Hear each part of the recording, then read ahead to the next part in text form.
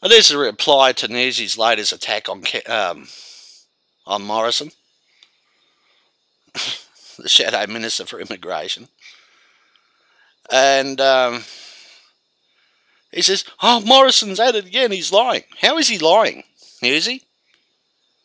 How is he lying? You produced on your video." A statement signed by Papua New Guinea, Peter O'Neill, the Prime Minister of Papua New Guinea, and Kevin Rudd. Two pages. And the majority of which on that two pages is nothing but, how would you say, diplomatic waffle. Now, let's talk reality. Manus Island is about four or five kilometres, nautical kilometres, off the Australian mainland in Torres Strait, Papua New Guinea. Which means you put those people on this island, 8,000 8, odd, on this island, in a space that's, oh God, strike me Rome. According to Michael Somare, the former Prime Minister of uh, Papua New Guinea, there's only 3% of the land mass on Manus Island, whereas uh, the rest of the, the island is controlled by tribal interest of up to 97%. And you're going to slot 8,000 people in this tiny corner of Manus Island. And you don't think they're going to get into a rowboat or even a speedboat or a fishing boat and end up in Cape York Peninsula. You don't think that they aren't going to do that. Neither does Kevin Rudd. And they're wandering down there going, hello, I'm here. Oh, God and Bennett. No one, you live in a southern state, don't you? You don't live in Queensland. Guess where they're going to end up going to?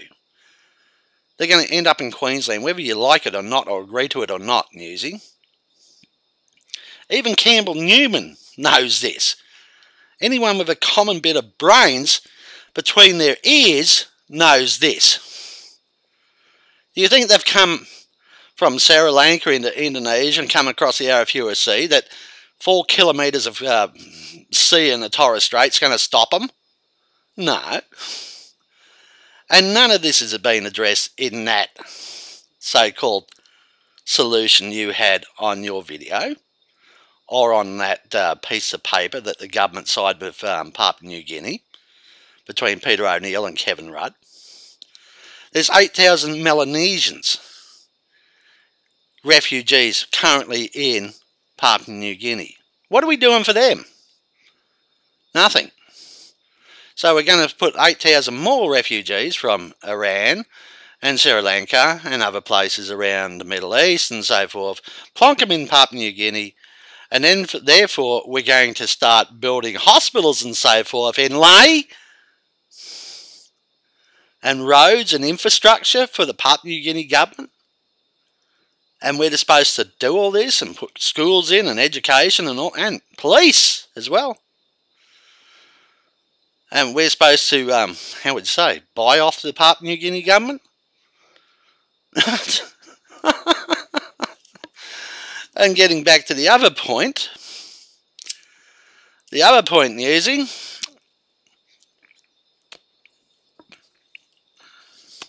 What's going to stop them from getting in a boat in Manus Island and straight into Townsville or Cairns or into Weipa or in the Gulf of Carpentaria or in that matter of fact into Darwin itself? What's going to stop them? Nothing. Not a thing. Because they've already crossed the Arafura Sea, you Burke, and ended up in Christmas Island. Now we'll get back to the other point. You claim that Tony Abbott is dithering about the introduction of a higher area of the GST. He claimed in that interview that you so valiantly put on your video, no, we have no intention of increasing the GST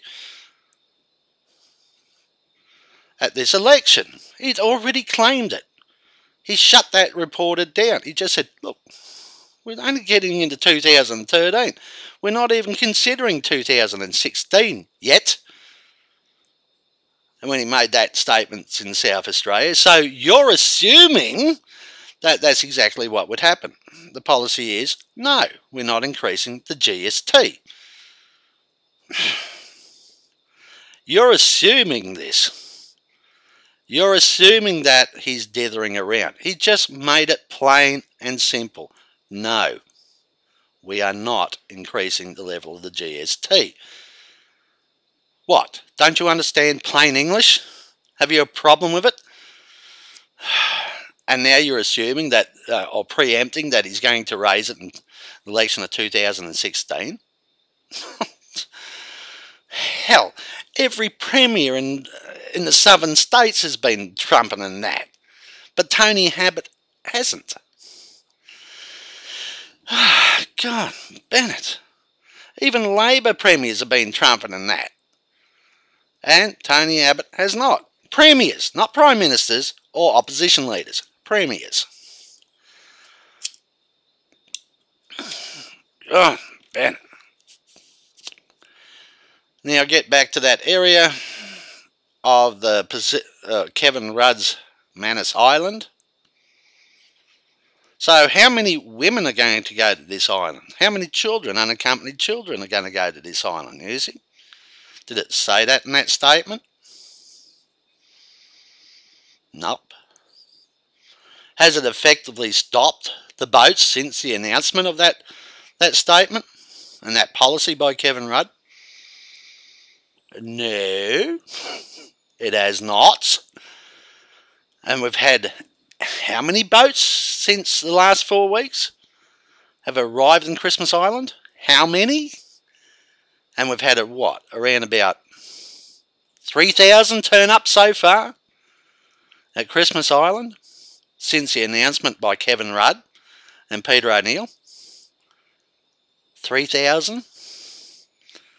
We had a baby die a couple of weeks ago. It's one of those lot that turned up. Ground at sea. And since 2008, you should have watched the Bolt report on the 25th of July, where your glorious leader, Kevin Rudd, was being interviewed by Andrew Bolt. Andrew Bolt asked him questions about did he or did he not receive reports from the Australian Federal Police and ASIO about illegal immigration and people smuggling. And if removing the, the Pacific Island solution, the uh, withdrawing of uh, temporary protection visas and border security, and lessening of such, how would that affect? Kevin Rudd said, I didn't receive those reports. They went to the Prime Minister's office. He said, Well, I didn't see them. Are you kidding me? Serious reports like that from the Australian Federal Police and ASIO were ignored by Kevin Rudd. Are you kidding me? He ignored them because they didn't fit in with his political agenda. Ah, I see. So 1,000 people have died, approximately and we've had 48,000 illegal immigrants turn up at Christmas Island and other places in Australia. and who's at fault? Because Kevin Rudd ignored the advice he got from the Australian Federal Police and also from ASIO.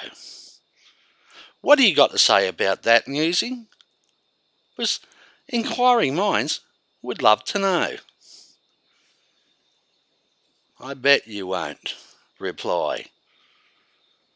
Unless you come up with your same left wing, I love blood rhetoric. Bye.